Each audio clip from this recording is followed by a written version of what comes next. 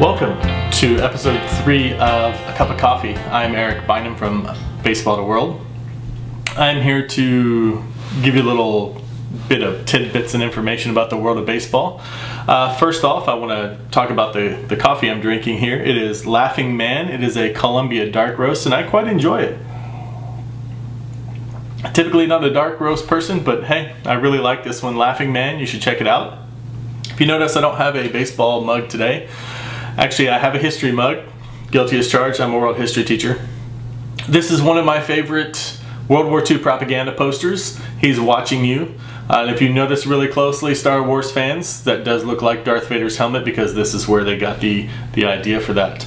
Um, by the way, if you're a history fan, especially world history, I will be starting a world history podcast. Um, I've got a couple episodes in the in the books. I'm just looking to publish them and get them out there.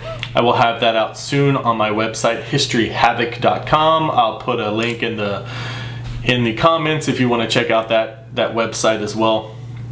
Uh, starting off, I want to congratulate the Dornbirn Indians for winning the Federations Cup. Uh, they took down the Vienna Wanderers 19 to 1, and I really wanted to, to do a little shout out for Tyler Thompson, who took home the championship victory. Uh, it was his second win of the tournament. He went five innings. He struck out nine, gave up two hits. So the Dornbirn Indians sort of dominated there, 19 to one.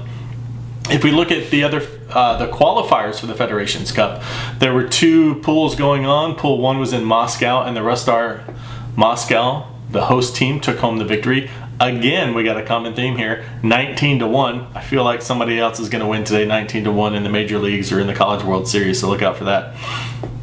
Uh, but I really wanted to give a shout out to Luis Valent Valenti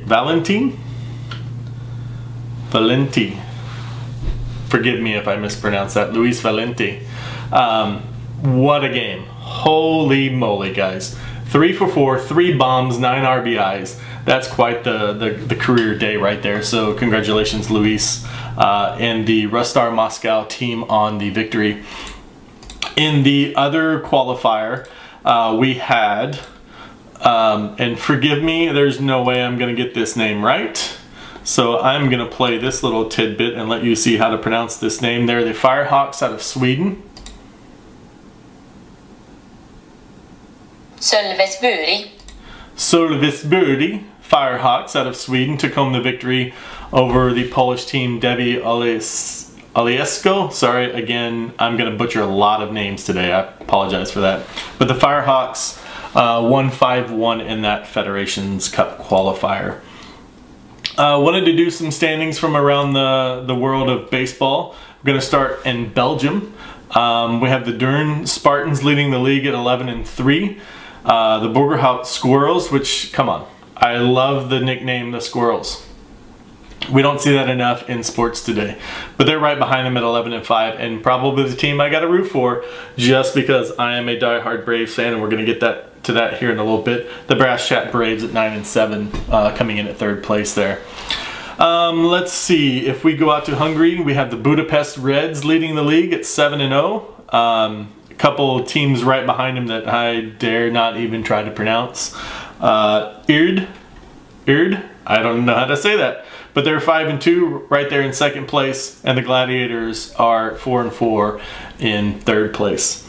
Um, if we go out to Finland, um, yes, they do play baseball in Finland and Sweden, and there's some good leagues up in, the, in that area. Uh, something that a lot of y'all may not know, but a lot of these countries in Europe and Africa and Asia, a lot of them have baseball leagues. They're not quite up to par to what we see in America, but you know, a lot of the, a lot of in a lot of these places they're growing, and that's what we want to do here at BaseballdeWorld is help that growth as much as we can, spread the word. Uh, so out in Finland, we have the Panthers out at 6 and 0 with a one game lead over the Expos who are at 5 and 1. And come on, guys, Expos. I miss baseball in Montreal. It's a subject for another day, but you know, I'm gonna have to bust out my Expos hat one day. One of my favorite hats of all times uh, even though I'm not a, a, Washington Nationals fan what's, whatsoever. Actually, actually quite can't stand them. Uh, if we go, you know, close by to Sweden and take a look at the standings there, we have the Sundbyberg Heat uh, leading the league at 11 and 2, and the Solvisburg. Again, let's hear that because I, I know I'm not pronouncing it right. I gotta hear it. Sölvesborg. Sölvesborg. Sölvesborg, the Firehawks, are in second place there, um, just behind the the Heat, a half game back at 10 and 2. Uh, bringing up uh, the next in line, the Stockholm Monarchs in third place at 9 and 7. So baseball in Finland, I'm sorry, Sweden, don't want to get those two mixed up, uh, going strong.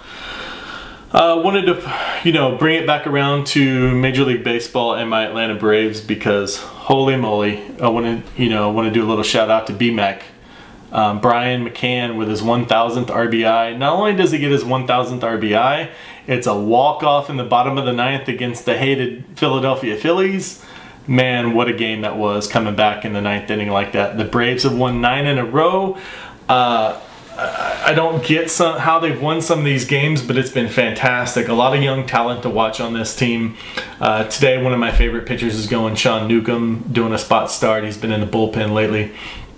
But if you want to check out the young Braves, they are the MLB.TV free game of the day. Uh, they play tonight at, I believe, 7 Eastern uh, against the Phillies. Should be a great game. Check it out. Uh, again, the Braves have won nine in a row. Let's go for 10. Uh, a couple other things I wanted to, you know, wanted you to notice. Uh, my shirt, life is good because let's let's be real, life is good. Um, sometimes we all get down, we get a little depressed. I know, been there, done that. That's why I want to remind you of my blogathon. Uh, June 29th through the 30th. For 24 hours, I will be blogging, live streaming, I'll be tweeting, Instagramming, is it Instagramming or just gramming? I don't know. These kids these days, they're I'm, I'm not young enough for all of that. But um, I want to remind you that from the first pitch of the London series early Saturday morning to the last pitch Sunday morning, I will be blogging. Um, the day after, I will have some guest articles going up, some great people writing some great stuff. So I really want you to check that out. It's all to raise awareness for depression. Uh, so please spread the word um, to anybody and everybody. Um, I'll be doing some podcasting and some other things and another episode of A Cup of Coffee during that day. Maybe two. I'll have 24 hours to do a lot of stuff. So we shall see. Um, but just want to, you know, follow us on Twitter, follow us on Instagram. We're both at BaseballdeWorld. You can find links in the comments as well. Um, last thing I want to wrap up is the book I just started reading yesterday, The Wrong Stuff by Bill Lee. Huge Bill Lee fan. Um, I read his other book. I can't think of the name of it. I can see it sitting over on my on my dresser right there. Um, funny guy, great guy. Would love, love anything to sit down and have dinner with him and just pick his brain and hear some stories. Uh, there's a great, uh, I think it's great, a great documentary, not the movie, the movie was not so great, but there's a, a, documentary that follows him going down to Cuba called Spaceman, a Baseball Odyssey. Check it out. It used to be on Netflix or Amazon. I haven't checked in a while. Um, I wrote an article about it uh, a ways back. I will post that in the comments as well so you can get an idea of what that's about. Um, but that's it for now. Um, oh, one more thing. I want to do a little College World Series prediction. Um, the team that I'm really rooting for and really pulling for, Texas Tech, get your guns up. I'm a Texan, okay? I love, you know, pretty much anything Texas except for A&M. Sorry guys, hook 'em horns. Um, but rooting for the Red Raiders. Hope they really pull it out. Um, but if, if I was a betting man, my money would go on Vanderbilt. Man, they're looking good. Uh, even if you don't like baseball and college baseball, I know a lot of people don't like the, the metal bats, but check out the uniforms. There's going to be some great uniforms in this in this tournament. All kicks off later today in about whoa, it's like 10 minutes away. So I need to get this up and, and going so I can I can post this and I can go watch some college baseball. But that's going to do it for me today, guys. Have a great day. Enjoy a cup of coffee, and we'll see you next time. Adios.